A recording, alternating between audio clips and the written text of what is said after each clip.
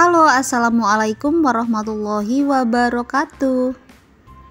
Di video kali ini aku ingin berbagi tutorial yang sangat sederhana banget. Pastinya kalian sudah banyak yang tahu ya caranya. Tapi nggak apa-apa, barangkali ada yang belum tahu. Di video kali ini akan saya share cara membelah ikan untuk dijadikan ikan asin atau ikan bakar ya. Caranya mudah dan gampang banget. Mau tahu tutorialnya gimana? Yuk saksikan video ini sampai selesai. Tapi sebelumnya buat teman-teman yang baru pertama kali mampir dan belum subscribe, jangan lupa dibantu subscribe dulu ya dan ditekan juga tanda loncengnya agar kalian tidak ketinggalan setiap kali aku update video. Terima kasih. Jadi ikan yang mau dibuat ikan asin atau ikan bakar, cara membersihkan atau memotongnya beda ya. Untuk ikan asin, kalau tidak dibelah saat dijemur bakal lama keringnya dan saat digoreng biasanya susah garing karena dagingnya tebal jadi kurang kriuk ya. Sedangkan ikan bakar juga sama, kalau tidak dibelah bumbu kurang meresap dan bakal lama juga masaknya.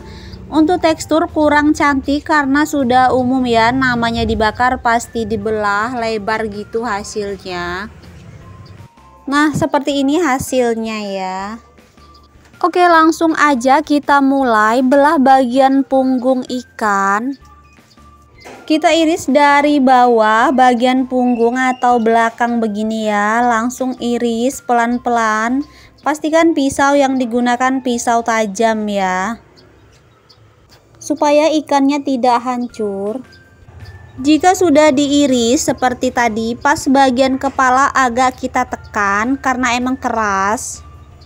Oke, lakukan dengan cara yang sama seperti tadi hingga semua ikannya selesai dibersihkan ya.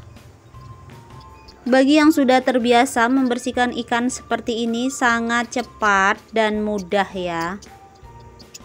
Untuk ikan yang bersisik, kita buang terlebih dahulu sisiknya supaya saat diberi garam atau bumbu meresap dengan baik. Baru selanjutnya dibelah dengan cara seperti tadi. Nah, selanjutnya saya akan belah juga ikan yang sudah terlanjur diiris bagian depan begini ya. Masih bisa dibelah juga karena ini mau sekalian saya buatkan ikan asin jadi tetap bisa dibelah supaya proses pengeringannya nanti lebih cepat Oh ya, jika ikannya besar banget, caranya tetap sama seperti begini juga. Cuma bedanya kita menggunakan pisau atau golok yang lebih besar agar lebih mudah mengiris dan membelah ikannya ya. Oke, lakukan dengan cara yang sama hingga selesai. Sebelum dibuatkan ikan asin atau ikan bakar, jangan lupa dicuci terlebih dahulu sampai ikannya benar-benar bersih ya. Lalu tiriskan, baru kita beri garam atau bumbu sesuai selera kita. Oke, demikian tutorial yang sangat sederhana dari saya. Semoga bermanfaat. Silahkan teman-teman untuk mencoba di rumah ya. Sampai jumpa di video-video saya selanjutnya. Bantu subscribe, like, komen, dan share jika video ini bermanfaat. Wassalamualaikum warahmatullahi wabarakatuh. Dadah.